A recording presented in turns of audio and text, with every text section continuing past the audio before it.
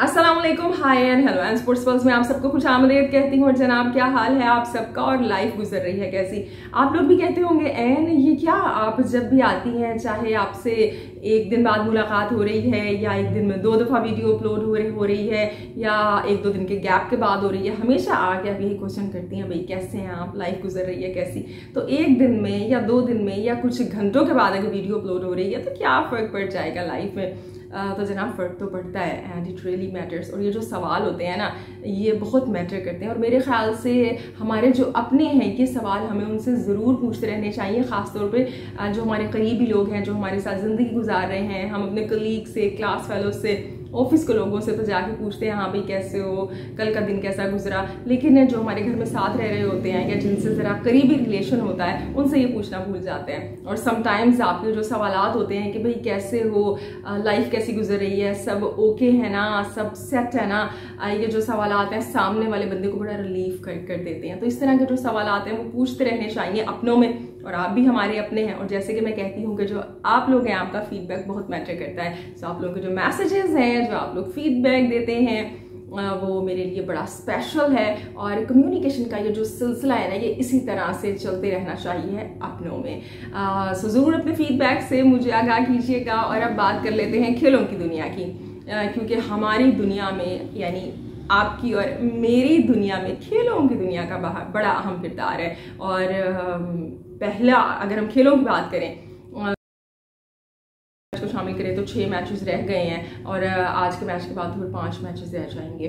और वैसे तो मैं सुलभ कुमार यादव का इंटरव्यू सुन रही थी दो तीन दिन पहले एंड ही वो सेइंग कि हमारे पास इंटरनेशनल मैचेस कम है, लेकिन आईपीएल के हमारे पास पूरा सीज़न है ये आपको बैकग्राउंड में बाइक्स की आवाज़ें आ रही होंगी तो उसको काइंडली इग्नोर कीजिए। मैंने आपको पहले भी कहा था, हमारा जो घर है, वो मेन रोड पे है सो ये बड़ा मुश्किल हो जाता है इन चीज़ों को कंट्रोल करना समटाइम्स सो अगर हम इंटरनेशनल क्रिकेट की बात करें उसमें और लीग क्रिकेट में बड़ा फ़र्क होता है। ही सेड कि हर टीम ने जो है वो आईपीएल के मैचेस खेलने हैं और मेरे ख्याल से थर्टी प्लस मैचेस होंगे हर टीम जो खेलेगी फैम नॉट रॉन्ग सो काफ़ी प्रैक्टिस हो जाएगी उसके अंदर। अगर इंटरनेशनल क्रिकेट नहीं है उनका कहने का मकसद था आईपीएल में हमारी बड़ी अच्छी तैयारी हो जाएगी। जबकि अगर मैं पर्सनली अपनी बात करूँ तो मैं इससे बिल्कुल अग्री नहीं करती हूँ। देखिए इंटरनेशनल क्रिकेट और लीग क्रिकेट इसमें ज़मीन आसमान का फ़र्क है। लीग क्रिकेट को आप किसी तरीके से इंटरनेशनल क्रिकेट से कंपेयर कर ही नहीं सकते हैं। बिल्कुल सर्कमस्टेंसेस जो सिचुएशन होती है, वो डिफरेंट होती है। चाहे आप टी ट्वेंटी वर्ल्ड कप आने वाला है इवन आप टी ट्वेंटी वर्ल्ड कप खेल रहे हैं। अगर हम लीग क्रिकेट की बात करें और इंटरनेशनल क्रिकेट की बात करें, जो लेवल ऑफ़ कॉम्पिटेंसी होता है, जो लेवल ऑफ़ कॉम्पिटिशन होता है, वो ही अलग होता है। उसके अलावा अगर हम लीग क्रिकेट की बात करें तो कॉम्बिनेशन ऑफ़ प्लेयर्स होते हैं, बाज़ इमर्जिंग प्लेयर्स भी होते हैं, कुछ इंटरनेशनल प्लेयर हैं, कुछ हमारे अपने प्लेयर हैं। सो जब ऐसा एक माहौल होता है सो उसके अंदर ब्रीदिंग स्पेस आपको मिल जा, मिल जाता है। जबकि अगर हम इंटरनेशनल गेम की बात करें इंटरनेशनल खेलों की बात करें सो उसमें आपके पास बेस्ट अलेवन होती है, कि जिसमें टेंशन भी है कंपटीशन भी है, और बेस्ट खिलाड़ी हैं। सो so, उसके अंदर इन सब चीज़ों को मैनेज करना मुश्किल हो जाता है। तो लीग गेम को किसी भी तरीके से आप इंटरनेशनल या आईसीसी इवेंट से तो बिल्कुल भी कंपेयर नहीं कर सकते हैं। सो so, ये इंडिया के लिए एक बड़ी मुझे ऐसे वो लगता है अलार्मिंग कंडीशन है। क्योंकि इससे पहले भी हमने देखा है कि आई डोंट नो कि आईपीएल एक बहुत बड़ी लीग है। मैं इस चीज़ से बिल्कुल अग्री करती हूँ। लेकिन आईपीएल की फ्रेंचाइजेज इतनी सेल्फिश होती जा रही हैं या मुझे ऐसे वो लग रहा है कि पैसे की वजह से कहीं उनको इतना ही कंट्रोल ना हो जाए कि बीसीसी ही उनको बीसीसीआई को ही उनको कंट्रोल करना मुश्किल हो जाए। आप देखें वो विंडो आपने आईपीएल की इतनी बड़ी कर दी है। हमने टी ट्वेंटी वर्ल्ड कप में देखा था लास्ट वाले में। ये खिलाड़ी आईपीएल के बाद आए थे और फिर मैच हार गए वर्ल्ड कप हार गए और, फिर सबने कहा जी आईपीएल की फटीक थी। आ, फिर हमने देखा कि जी आईसीसी जो चैंपियंस ट्रॉफी थी जब पैट कमिंस ने विड्रॉ कर लिया था इसी ये आईपीएल से सो तब भी ये खिलाड़ी आईपीएल खेल के गए जनाब चैम्पियंस ट्रॉफी के लिए, और वही हुआ वहाँ पे कि आप हार गए। मैं ये नहीं कह रही I am not blaming IPL लेकिन जब आपका इतना बड़ा टूर्नामेंट आ रहा है, एक आईसीसी का मेन इवेंट आ रहा है तो कुछ ना कुछ गैप तो होना चाहिए। कुछ ना कुछ चीज़ें तो आपको प्रिपेयर करनी चाहिए हैं। क्योंकि अगर आप जितना बड़ा मर्ज़ी आपका बोर्ड हो जाए, जितने पैसे मर्ज़ी हो जाए but ultimately you need ICC trophies पैसों से और ये बड़ी बड़ी लीग करवा लेने से ये आपको वो जो एक आईसीसी इवेंट को जीतने की खुशी होती है और जो अहमियत होती है वो उस चीज़ को कॉम्पनसेट नहीं कर सकती है। तो मेरे ख्याल से कि जो विंडोज़ है ये जो विंडोज़ देखी जाती हैं बनाई जाती हैं इनको भी ज़रा ध्यान से बनाना चाहिए है। और जो मुल्क की क्रिकेट है उसकी प्रायोरिटी सबसे पहले होनी चाहिए उसके बाद लीग की आनी चाहिए है। आ, सो देखते हैं जी बहरहाल क्या होगा आज के टी ट्वेंटी मैच में इंडिया वर्सेस साउथ अफ्रीका के। और अब कुछ बात कर लेते हैं जी मोहम्मद हफीज़ की।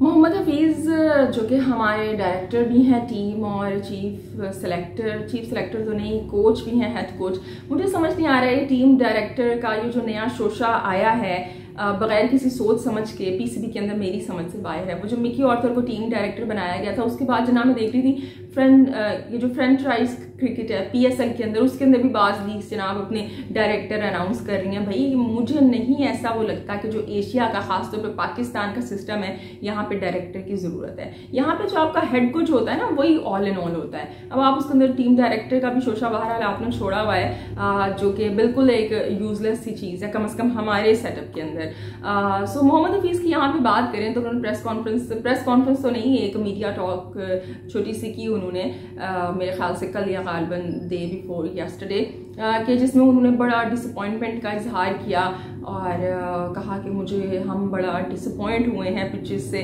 पिचेस से नहीं, वो जो बेस्ट प्रैक्टिस मैच में पिच दी गई, इतनी स्लो पिच मैंने कभी ऑस्ट्रेलिया में नहीं देखी है और इस तरह की हमें कंडीशन दी गई हैं। और उन्होंने कहा, जनाब, ये टैक्टिक होगी उनकी। बिल्कुल जी टैक्टिक है। बिल्कुल वैसी ही टैक्टिक टैक्टिक है कि जैसे पाकिस्तान ने किया था, जैसे रमीज़ राजा साहब ने किया था।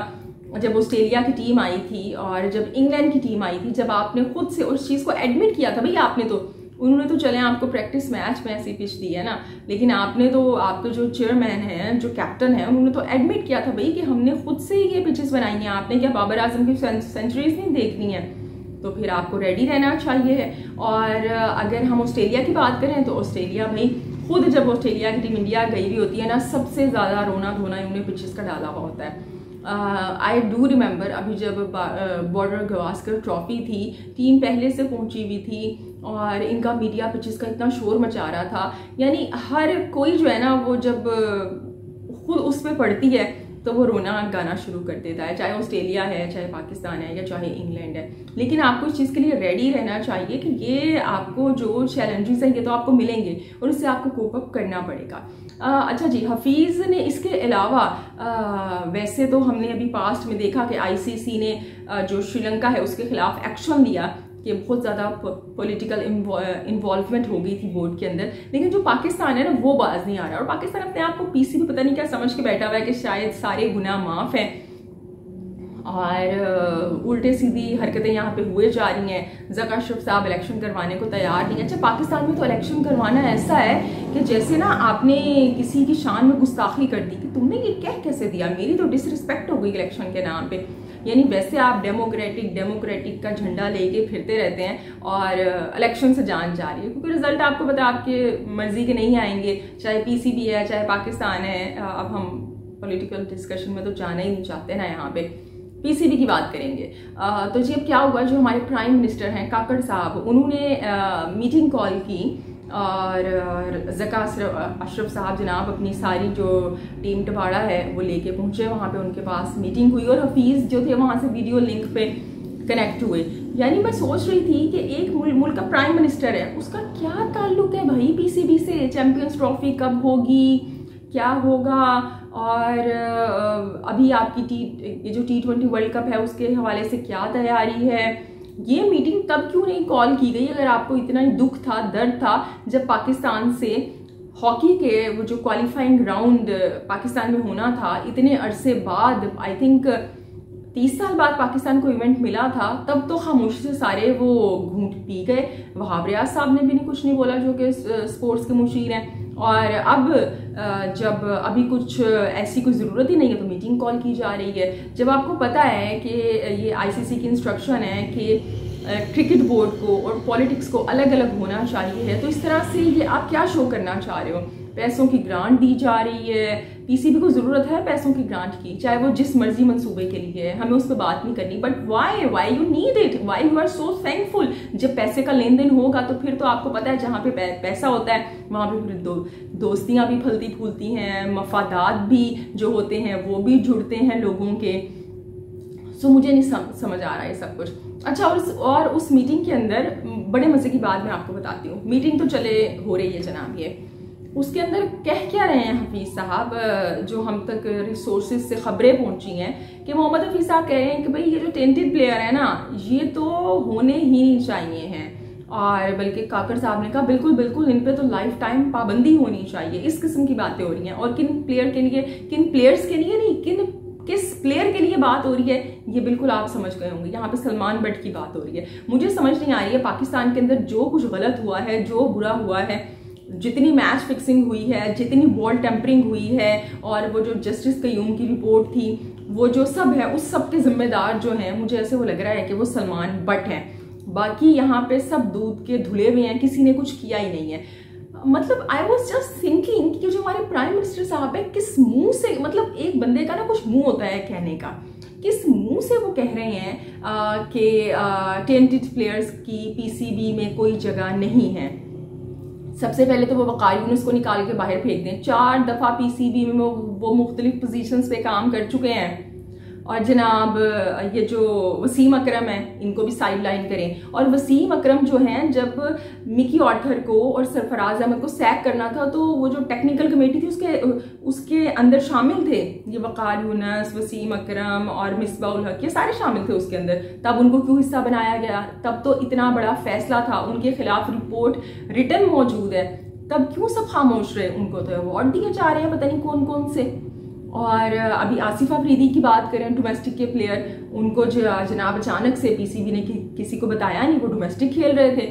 जब लोगों ने पूछा भी इनकी तो साढ़े तीन साल की सज़ा थी तो फिर वो आया कि नहीं जी इन्होंने सज़ा पूरी कर ली है और कंसेशन दे दी गई इन्हें। शजील खान कैसे खेल रहे हैं? और अगर मोहम्मद हफीज़ की हम बात करें मोहम्मद हुसी हफीज़ जब नजम सेठी साहब मोहम्मद आमिर को लेके आए थे तो, तो तब हफीज़ ने खेलने से मना कर दिया था कि मैं तो किसी टेंटेड प्लेयर के साथ नहीं खेलूँगा। लेकिन उसके बाद जनाब, जब सर पे आई कि भाई मैं तो हूँ ना, हूँ मोहम्मद आमिर तो खेलेगा तो वो खामोशी से खेलना शुरू हो गए। और फिर वही मोहम्मद आमिर के जिसके साथ खेलने से मना किया था कि वो टेंटेड प्लेयर हैं, उनको वो कॉल कर रहे हैं कि भाई तुम आ जाओ और वर्ल्ड कप खेलने की ऑफ़र हो रही है। आप भाई हमें क्या पागल समझते हैं? यानी वो क्या है ना कि बड़ी अच्छी सी एग्ज़ाम्पल है यहाँ पे। तुम करो तो डांस हम करें तो मुजरा। यानी आप करें तो वो डांस है कोई और करे तो वो बड़ी गलत चीज़ है। सो so, इस ये जो इस पथेटिक अप्रोच है ना इससे बाहर आए और काकड़ साहब क्या बात कर रहे हैं भाई? वो तो खुद एक टैंक के ऊपर बैठ के आए हुए हैं। किस हैसियत से वो आए हैं पाकिस्तान के अंदर? एक आपको इंटरम आप प्राइम मिनिस्टर हो और आप बड़ी बड़ी पॉलिसीज़ की बात कर रहे हो जका अशरफ साहब से कहें कि इलेक्शन करवाएँ इलेक्शन करवाने को तो वो राज़ी नहीं है क्योंकि जका अशरफ साहब को पता है कि मेरे पीछे है एक जरदारी सब पे भारी। वो मतलब हर कोई ना अपनी अपनी गद्दियाँ संभाल के यहाँ पे बैठा हुआ है। लाइक आपके मुल्क के अंदर क्या हो रहा है जो मुजरिम है वो यहाँ पे आ, दूसरे मुल्कों से आके सियासत में हिस्सा ले रहे हैं। मतलब मुझे अफसोस हो रहा था, हमारी सोसाइटी का इतना बड़ा डेलमा है ना कि जिस बंदे को ज़िंदगी में कुछ करना नहीं आता, यानी जो बंदा अपनी ज़िंदगी में नाकाम हो जाता है ना, जो वो करना अच्छा चाहता है, वो नहीं कर पाता, वो टीचर बन जाता है। और जो बंदा सबसे निकम्मा होता है, सबसे निकम्मा वो पॉलिटिशियन बन जाता है। एक बड़े मज़े की मैं आपको चीज़ बताती हूँ। मैं यहाँ पे नाम नहीं लूँगी। हमारे कुछ पॉलिटिशियंस हैं। उनसे जनाब ये बड़ी मशहूर एक बात है, पाकिस्तान की तारीख का हिस्सा है कि जनाब उनसे किसी ने रबता किया? क्योंकि आपको पता है हमारे यहाँ तो पॉलिटिक्स किस तरह चलती है। कि भाई हमें प्राइम मिनिस्टर बनाना है तो इस तरह से कि दे देंगे, ये बड़ा एफिशिएंट बंदा है। उस वक्त एक साहब ने रबता किया एक फैमिली से।